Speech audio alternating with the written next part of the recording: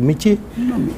L'artisanat peut, peut absorber Moi, ben, ça me fait mal quand je vois, par exemple, une ville comme Ngaïméré, mais qu'on n'arrive pas à avoir une université du- des chaussures, ou bien du- une université des cuirs. Ça fait trop mal. Alors que lorsqu'on arrive à créer une usine à l'étape vraiment industrielle du terme, pour créer des sacs en cuir, pour créer des chaussures en cuir, on peut fixer toute cette population. Ils vont plus euh, se dire que... Parce qu'il faudrait que ces métiers arrivent à nourrir leur homme. Le jour où on va avoir...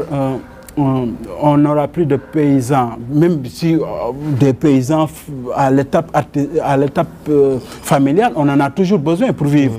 Mais si on a des jeunes entrepreneurs agricoles qui vont rouler avec leur, leur, leur belle bagnole, ils vont servir d'exemple à beaucoup de jeunes qui verront à travers ces personnes véritablement des raisons de rester dans ce pays-là. Mais pour le faire, encore une, une fois, il faut une volonté politique et c'est cette volonté politique qui manque malheureusement depuis pratiquement les, les indépendances. Tous les secteurs dont je vous ai cités aujourd'hui, euh, on s'est targué d'un budget de 100 milliards, pour, par exemple pour l'agriculture, pour dire que c'est du jamais vu au Sénégal. C'est un manque d'ambition pour quelqu'un qui veut nourrir sa population. Vous ne pouvez pas, sur un budget de 5 000 milliards, at- attribuer à l'agriculture 100 milliards. C'est trop minime et c'est trop peu. J'aurais compris qu'on nous dit, oui, c'est 500 milliards, c'est pour l'agriculture. Là, j'aurais compris, ah, il y a une volonté qui commence à venir de, de nourrir sa population. Mais, mais, mais, mais Daouda, le problème, c'est que le diagnostic que vous faites, le mal, on le voit dans presque tous les pays africains. Moi, moi ça que je ne comprends pas. Vous allez au Mali, c'est la même chose. Euh, Est-ce que nous sommes véritablement euh, indépendants? Est-ce que nous avons les mains libres pour pouvoir décider de notre devenir finalement? Je dirais oui et non à la fois. Je dirais oui et non à la fois. Parce que, ben, on peut, on peut emprisonner un corps, mais on ne peut pas emprisonner un esprit. On ne peut pas emprisonner un esprit, on ne peut pas empêcher à, à une tête de réfléchir, à mon avis.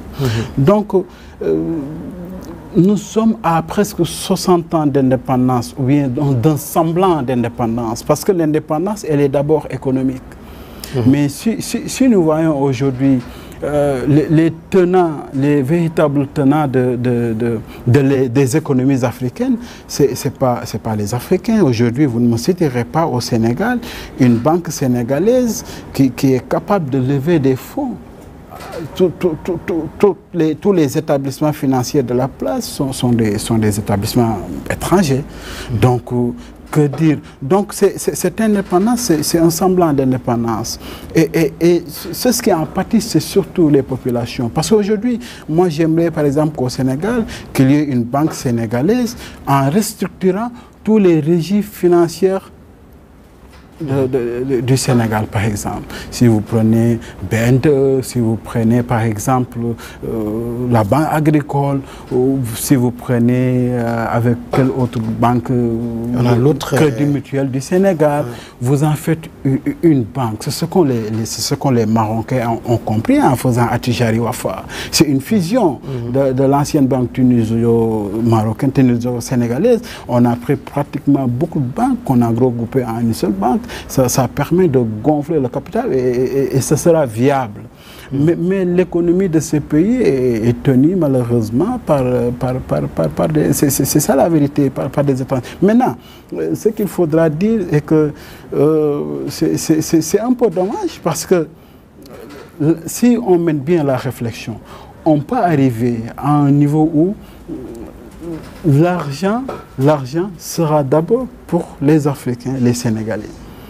Mais si on ne le fait pas, ces phénomènes que vous voyez, pour en venir au sujet, ces bruits de bottes que vous entendez dans nos palais ne vont jamais s'arrêter, malheureusement. Euh, vous pensez qu'il y a un fossé qui s'élargit de jour en jour entre les gouvernants de nos pays et euh, la masse populaire euh, essentiellement composée de, jeunes, plus de 70% de jeunes par exemple au Sénégal, et puis euh, un petit groupe une caste de personnes qui se passent le pouvoir pratiquement tous les 10 ou 15 ans. Le fossé se creuse davantage, si bien que, à l'arrivée, cette jeunesse a vraiment envie de soit changer d'air, et si ce n'est pas possible, de, donc euh, il faut passer à une certaine alternance. Et si l'alternance n'est toujours pas possible, il faut quitter le pays et partir. Oui, oui, dans tous les cas, il y, a- y y une chose qui est sûre. Moi, mon seul espoir réside euh, quand même euh, dans, dans- dans- dans le changement de mentalité des opinions publiques africaines. De plus en plus, on a des opinions publiques qui, qui- qui- qui demandent à être écoutées et, et qui demandent au gouverneur de rendre des comptes. Et, c'est déjà bien. Ça- ça- ça- Un éveil des consciences. il y a un éveil de conscience et c'est déjà bien. Nous, lorsque nous parlions aujourd'hui de cet engagement, il y a de cela 15 ans, 20 ans, les gens nous disaient que États-Unis d'Afrique, vous rêvez, vous. Mais aujourd'hui, Dieu a fait que les gens sont en train de, de, de- de- nous rejoindre dans cette idée-là. Euh, Je ne parle pas des, je parle pas des, des populistes. Qui, qui, qui, qui, sont des panafricanistes alimentaires. Ils viennent, ils, ils prennent la chose, mais à la limite, ils ne, parlent, ils ne connaissent pas véritablement les problèmes africains. Je vais vous dire, tout cela, les causes sont, sont juste les mêmes. En Afrique, on a des problèmes communs avec des petites solutions. Quels sont nos problèmes? Nos problèmes, problèmes communs là. nos problèmes communs, c'est quoi? Déjà, on a, on a, on a, on a, on a un, un problème de, de bonne gouvernance. Ça, c'est- vraiment une attitude qui nous est commune en Afrique. c'est une perception ou c'est une réalité? C'est une réalité. Pourquoi je vous dis que c'est une réalité? C'est que euh, euh, je vais faire une étude comparée. Euh, Vous savez, Jacques Chirac, Ouais. Jacques Chirac, en, en venant au- euh, en tant que euh, secrétaire d'État aux finances de Pompidou, Jacques Chirac avait acheté un château. Un château qui coûtait à l'époque 210 000 francs français. Et ce château, c'était les 150 000 qu'il avait hérité de son papa, qui venait de décéder, et 60 000 d'apport personnel. Jacques Chirac, je vous dis. Il a réfectionné le château. Vous savez ce que Pompidou lui a dit? Un homme politique ne doit pas avoir un château. Ben, durant les printemps arabes, Ben Ali, Le dans président tunisien. président tunisien, dans l'une de ses, de ses résidences, Ouais. on a trouvé 20 millions d'euros. Jacques Chirac, lorsqu'il quitte le pouvoir, par exemple, en 2007, il n'a pas d'appartement. Parce que l'appartement qu'il disposait à Paris, il l'a échangé presque contre euh, à, la, à la causière. Donc, c'est Rafik Hariri, l'ancien président libanais, qui lui prête un appartement. Jacques Chirac, quelqu'un qui a été président durant 12 ans. Ouais.